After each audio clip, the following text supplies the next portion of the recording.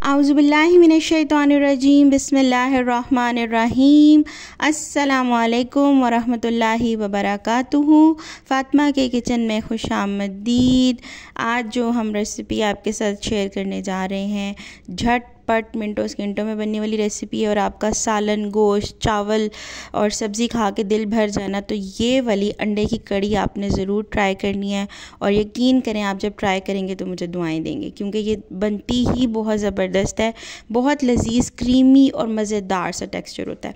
और ये तो आपने ज़रूर सुना होगा कि सर्दी हो या गर्मी, संडे हो या मंडे, रोज़ खाओ अंडे, ठीक है? तो ये ऐसी रेसिपी है कि हर घर में अंडा तकरीबन मौजूद होता है और हर इंसान खा खाता भी है। तो यहाँ आते हैं, हम अपने इंग्रेडिएंट्स की तरफ़ यहाँ ले लिए थे मैंने पाँच अदद अंडे बॉइल्ड इनको मैंने बॉइल कर लिया था पानी में नमक डाल के और यहाँ पे लिया है मैंने इस तरीके से एक क्रीम का पैकेट ये हम पूरा नहीं यूज़ करेंगे हसब ज़रूरत यूज़ करेंगे।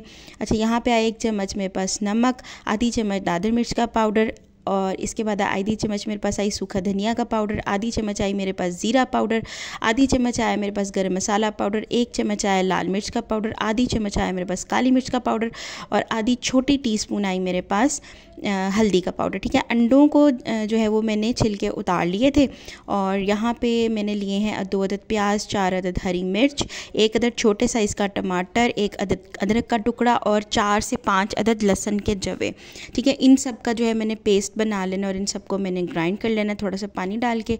यहाँ पर मैंने लिया था एक पतीली या पैन कढ़ाई, जो भी आप लेना चाहें। उसमें मैंने डाला है तकरीबन दो कप का, दो कप आपने जो है वो ऑयल के डालने और इसके बाद मैंने जो पेस्ट बनाया हुआ था, लहसन, प्याज, अदरक, टमाटर और हरी मिर्चों का, वो मैंने अच्छे तरीके से ग्राइंड करके इसमें डाल दिया था जब ऑयल गर्म हुआ। और जब तक वो मसाला जो है खुश्क हो रहा था तो अब यहाँ हम अंडों को देख लेते हैं। अच्छा एक अंडा जो है यहाँ पे मैंने इस तरीके से उसमें कट लगाया है एक अंडे में और इस तरीके से देख लें। और इसकी जो है, बाकी अंडों को जो है, हमने चकोर की तरह कट लगाने एक अंडे को मैंने क्या किया है, यहाँ पे मैंने इसकी जर्दी अलग कर दी है और यहाँ पे मैंने इसकी सफ़ेदी जो है, वो कर दी है अलग। तो जो सफ़ेदी है, उसको मैंने जो है बारीक बारीक काट लेना है इस तरीके से और जर्दी को हम यूज़ करेंगे और यहाँ पे जो बकिया के अंडे हैं, बकाया अंडे, उनको हमने कट लगाना है। अच्छा कट लगाने का अंदाज़ कुछ इस तरीके से होगा कि आपने चौड़ाई वाले हिस्से से कट लगाना है। ये देखें इस तरीके से ये एक कट इस तरफ़ हॉरिजेंटल और एक कट लगना है वर्टिकल तो ये लगेगा इस तरीके से आ, आ, कट लगाना है ठीक है? अगर तो आपका अंडा कोई डैमेज हो तो आपने उसको जो है वो कोशिश करनी है कि ज़रा ध्यान से आ, बड़े प्यार से पकड़ना है क्योंकि अक्सर कट लगाते हुए अंडे टूट जाते हैं। अच्छा यहाँ पे जो है मसाला अच्छा खासा जो है वो देखें आप, कितना क्रीमी टेक्सचर अभी से आना शुरू हो गया इसका। मसाला जो है वो भुनना शुरू हो गया था तो यहाँ मैंने डाले हैं मसाले जो मैंने आपको दिखाए थे। मसाले डालने के बाद अब मैंने इसकी करनी है थोड़ी देर के लिए भुनाई। और यहाँ आप देख सकते हैं कि बिल्कुल भी नहीं लग रहा कि इसमें जो है हमने घी या ऑयल का इस्तेमाल किया क्योंकि हमने मसाले जिस तरीके से डाले हैं, अभी हमने को इतनी बुनाई करनी है कि घी जो है वो छोड़ दे। ठीक है जी। यहाँ पे अब जो है, ये देखें, इस तरीके से जब बुनाई होना शुरू हो जाएगा और मसाले ने ऑयल छोड़ना शुरू कर देना तो हमने यहाँ पे डालनी है जर्दी। ठीक है, आप अपनी क्वांटिटी को ज़रूर मैनेज कर लीजिएगा, जितना भी आप बनाना चाहें। ये सर्विंग जो है, आराम से चार बंदों की सर्विंग है। ठीक है, चार बंदे इसमें आराम से जो है, वो एक टाइम का जो है, वो खाना खा सकते हैं। इस तरीके से अब मैंने जर्दी डाल दी थी, उसमें इसको जर्दी डालने के बाद मैंने अच्छे से जो है, इसको जो है, वो मिक्स कर लेना और इसकी कर लेनी है भुनाई ये देखें, इस तरीके से। ठीक है?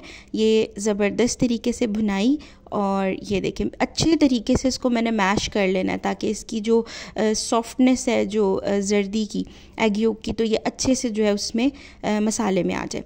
ठीक है जी अब यहाँ पे ये देख सकते हैं इस तरीके से कलर भी चेंज होना शुरू हो गया था तो मैंने इसमें डाले हैं तकरीबन क्रीम के आप लगा लें चार बड़े चम्मच ठीक है?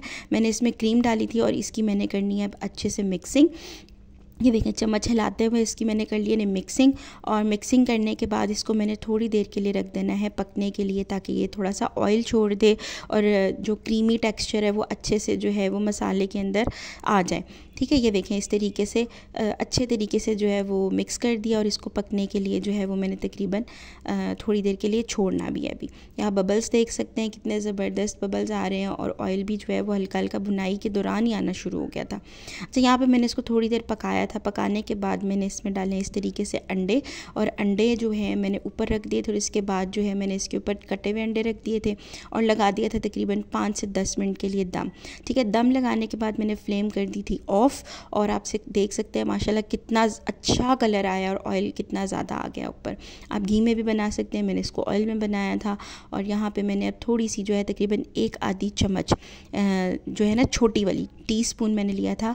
कसूरी मेथी का, घर की पिसी हुई मेथी भी ले सकते हैं, वो मैंने अच्छे से हाथ से मसल के तो वो मैंने ऊपर डाल दी थी और मैंने जो है इसको फ्लेम को बंद कर दिया था और ढक्कन लगा दिया था मज़ीद पाँच मिनट के लिए। इससे फ्लेवर और खुशबू बहुत ज़बरदस्त आती है, देख सकते हैं आप, माशाल्लाह कितना मज़ेदार सालन था और कोई यकीन नहीं कर रहा था कि अंडे की भी कभी कड़ी बनती है।